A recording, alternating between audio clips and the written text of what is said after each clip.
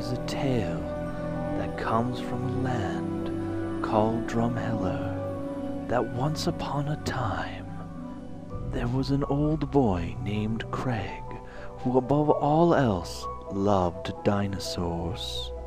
He heeded this call at a place called the Royal Tyrrell Museum where there were more dinosaurs than anywhere else and it couldn't be argued that Craig was among the best at working with them, but this was not enough for him. He ventured into the harsh badlands of Alberta, seeking the prehistoric beasts that he loved.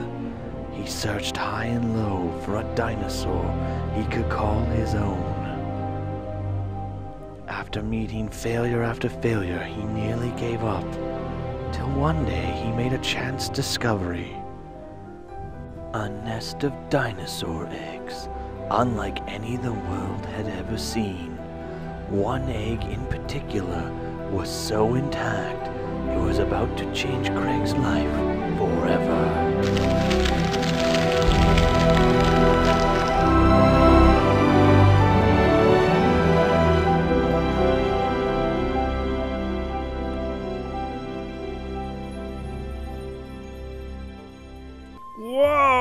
What a cool professional seeming intro! It was almost worth the five payments of $499.99.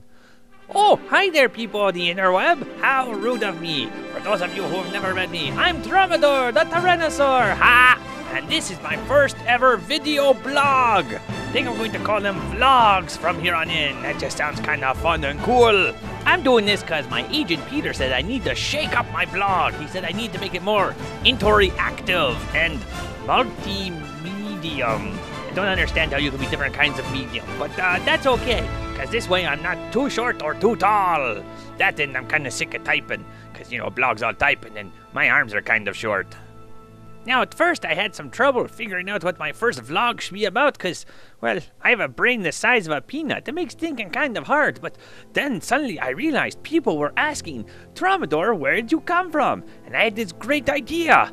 Traumador, the origin! But of course, you probably already figured that out because you've read the intro and stuff. And if you were paying attention for that, then you probably also figured out that I came from one of the eggs that my buddy Craig found. He's kind of like my adopted dad, but uh, he doesn't like it when I call him that. Anyways, when I hatched, I was a cute little baby. Oh, look at me, I'm such a cute little thing. And, well, Craig was a really great guy. He took care of me for my infant years. He was pretty good at it, too. It's probably because of all that experience he has working with human kids. Little did he know that I was learning all sorts of things from him, including the one thing that everyone least suspected. I learned how to talk! Dun dun dun! In fact, I can kind of remember my first words. Blah blah blah blah blah blah. Traumador. From there on in, Craig said he couldn't wait till I grew up. I couldn't wait to grow up either. Wait a minute, I think Craig said something about moving out too, but I couldn't wait to grow up. I looked up to my big, big relatives and wondered how big I would be when I grew up. And grew up I eventually did. Well, a little bit anyway. Still pretty small for a tyrannosaur. I was about to find out that life is not as much fun once you've grown up. That's because at the same time, me and Craig got a new roommate, Daniel, a fellow science interpreter from the Royal Tyrrell Museum. Now, Dan's a really smart cookie, and he figured that if he moved in with Craig, they could save some money on the rent. They were nice enough to let me live in their basement, but uh, I kind of used up my goodwill by letting the jungle run rampant down there, and uh, well, then they also got kind of upset because all I did was sit around and eat their food and play video games all day. And both of them insisted I had to get a job, dun dun dun, which would thus turn my life upside down. Fortunately, they made me apply somewhere that I'd fit in. That is, of course, the Royal Tyrrell Museum, dinosaur capital of Canada. And as an actual dinosaur myself, you'd think it would have made it easier to get a job, but uh, actually, it wasn't as easy as you might think. The problem is, by that time, I kind of had a reputation for causing trouble wherever I went. And it's not really my fault. I've only got a brain the size of a peanut, and weird stuff always happens to me. You've been reading my blog. Anyway, Dan's boss Brad wasn't gonna hire me unless Dan made sure that he trained me proper, and I was still gonna have to go through a job interview. Now, Dan is such a good buddy of mine. He was so excited by his opportunity, jumped right on it. Oh man, I've never seen him so happy. And he was so primed, we went through the whole museum in like less than an hour of training which, you know, was really efficient of him. I'm so glad he liked it, but uh, I was a little worried once it came out to my interview because turned out I was up against some pretty tough competition. You see, it was a big workshop and everybody had to do a presentation. And, well, there was that Shakespeare girl and, oh, that dancing trilobite. It was a pretty tough act to follow, but uh, when I got up there, I presented to everybody what one needs to do to work at the museum. And uh, well, I wasn't sure if I got the job after that or not. Turns out mine was a pretty good presentation because I got a call back from Brad right away, and he told me to show up the next day because I was now an employee of the Royal Tyrrell Museum. It was pretty exciting, and when I showed up, you'll never guess who greeted me at the door. It was Joseph Burt Tyrrell himself, the guy they named the museum after, and well, after I introduced myself to him, I went on through and checked out the museum as a new employee, and I got to know all my dinosaur colleagues. Including one I never expected I'd ever meet. It turns out that my mother works at the Royal Tyrrell Museum too. And this was a pretty emotional reunion. And, well, I've learned a lot about my mom since then. She's a very strong, silent type.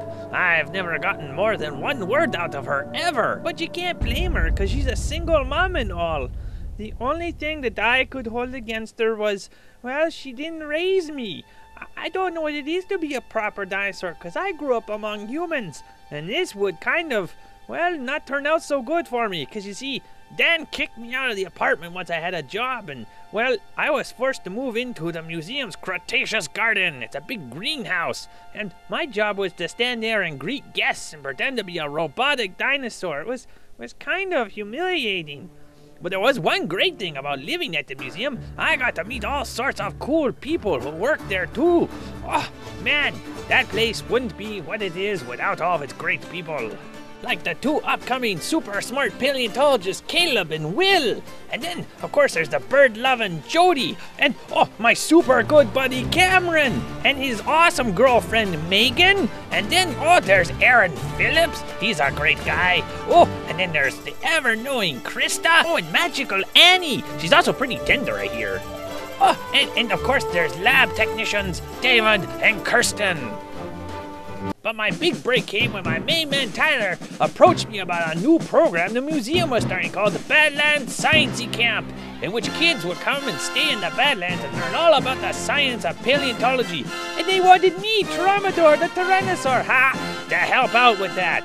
Oh man, did I get to work with some cool people like the Akisticator, Amy. Oh, and big-headed Aaron. Oh, and really, really messy El Rancho. And for some reason, Craig was there too. It was here at camp that I met my really great friend Strongman, the strongest man in the world. Together, our task was to teach kids all about paleontology. Well, okay, Strongman's job was to teach. I was just there as an assistant, and uh, I kind of got things wrong once in a while, and Strongman would get kind of annoyed at me. But uh, fortunately, we also had Ingrid the Informer, a very, very smart Viking who would help me out with my scientific facts. Man, those times in the summers were the best times ever. Sadly, like so many good things, summer had to come to an end. And with it, then I got sent back to my post in the Cretaceous garden. And things got even worse. There were too many dinosaurs at the museum, and I was one of the ones who wound up getting laid off. Now, I'm trying to find a place that I can call home. But uh, that's a story for another time, because you just found out where I came from. So on that note, this is Traumador the Tyrannosaur Ha, signing off.